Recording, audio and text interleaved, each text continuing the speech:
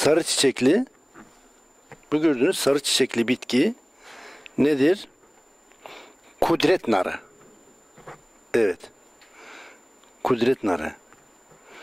Yaprağı, kudret narının yaprağı gördüğünüz gibi ve çiçeği bu da kudret narının çiçeği. Kudret narı yaprağı ve çiçeği. Şu da meyvesi. Meyvesini yaklaştırabilir misin? Evet bu da meyvesi. Kudret narının meyvesi büyüdüğünde kırmızımsı bir renk alır ve bu meyve patlayarak ortasından fasulye büyüklüğünde tohumları çıkar. Kudret narının tohumları içerisinde bu meyvenin içindeki tohumlar daha sonra bir kavanoza konur. Üzerine zeytinyağı doldurun.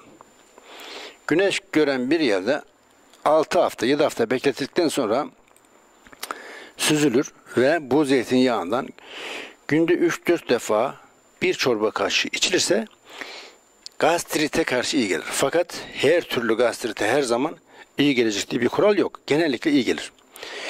Eğer ki gastrit iyileşmiyorsa kudret narıyla lahana suyundan üretmiş olduğumuz bir formül var. Gökçek tonik.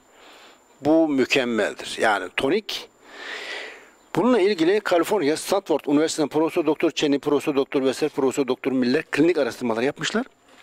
Gastrit, ülser ve reflüyü ve enteriti tedavi etmişlerdir. Yani tonikle iyileşmek yüzde 95, yüzde 96 gibi kudret narıyla iyileşmek ise gastritten kurtulmak ise yüzde 50 gibi. Yani tedavi biraz tabii ki yani e, çok çok emin değil. Yani bazıları memnun kalıyor bazıları kalmıyor. Denemek gerekir. Eğer ki herhangi bir iyileşme kaydedemezseniz tonikle lahana suyundan elde edilen özel bir tonikle tedavi olmak mümkündür. Hürmetler, saygılar.